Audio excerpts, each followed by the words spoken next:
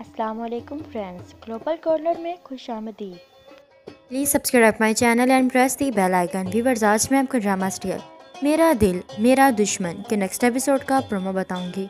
Next episode के promo में दिखाया जाता है, जफ़र अपनी बेटी से पूछता है कि शगुफ्ता का जेवर यहाँ पर रखा था। तुम्हें पता है कि कहाँ है? जिस पर वो कहती है कि हाँ बड़ी अम्मी को दे दिया।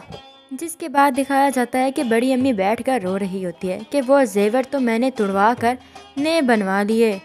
अगर उसे कल तक जेवर नहीं मिले तो हमारी तो खैर नहीं है, और वो ये बातें अपने शोहर से कर रही होती है, जिसके बाद दिखाया जाता है कि मायरा कॉल पर शामिर से बात कर रही होती है और पीछे उसका भाई सारी बातें सुन रहा होता है। तो मायरा कहती है कि वो दरअसल भाई आजकल मेरा रिश्ता देख रहे हैं। तो पीछे से भाई आकर उसको खींच लेता है और कहता है कि तुम्हें शर्म है कि नहीं है? जिस पर मायरा कहती है, एक अच्छा लड़का है, मुझसे शादी करना चाहता है। तो उसका भाई उसके मुँह पर एक ज़ोरदार थप्पड़ दे मारता है। तो उसकी माँ भागती हुई आ जाती है कि क्या मसला है तुम्हें? पागल हो गए हो, हटो पीछे। जिसके बाद दिखाया जाता है कि जफ़र की भाभी उससे कहती है कि ऐसे कैसे कर लो कि शादी? हमारा नहीं तो अपनी जवान बेटी का ही ख्याल करो। हम में से कोई शरीक नहीं होगा इस शादी में, जिस पर जफ़र कहता है कि आप लोग शरीक हो ना हो, शादी तो होकर रहेगी।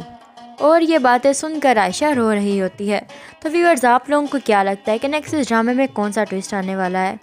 अपनी कीमती राय का इजहार कमेंट सेक्शन में ज़रूर कीजिएगा। हमारी वीडियो पसंद आए तो लाइक करें और हमारे चैनल को सब्सक्राइब करें। Thank you